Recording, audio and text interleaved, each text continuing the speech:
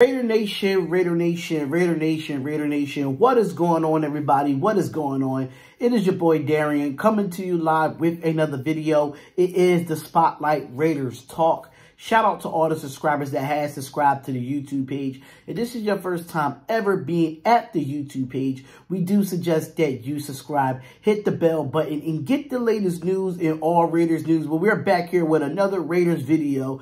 In this video, it's official that Desmond Trufant has officially signed with the Las Vegas Raiders. He will be on the active 53-man roster due to the fact that we just put our safety, Roderic Teamer, on IR, and the team has officially announced the signing of quarterback Desmond Trufant.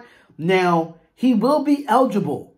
Roderic Teamer will be eligible to return in Week 10 versus the Bengals. Now, this is kind of tough. Now, we still have Arnette on IR. We still have uh, Mullen on IR, and now we add Roderic Teamer to IR. This is really tough on our secondary. We are getting banged up back there. And we, I think we need to go out and get some safety depth. We went out and got corner depth. We worked out two people, uh, Dequise Denard and DJ Hayden. We have not heard any news from them yet, but we end up signing Desmond Trufant. But now the safety position is starting to get thin. Now I see we need to go see what's going on at the safety position. Now at the end of the day, Roderic Teamer can come back week 10 against the Cincinnati Bengals. And that's going to be a tough game because Cincinnati Bengals is a good team.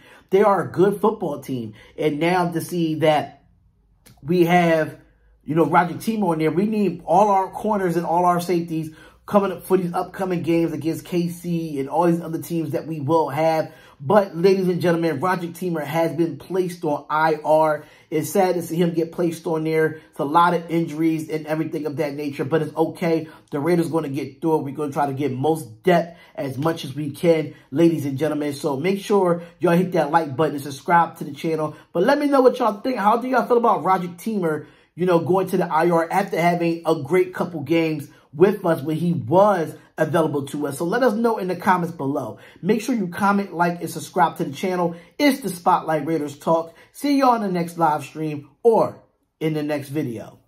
Peace.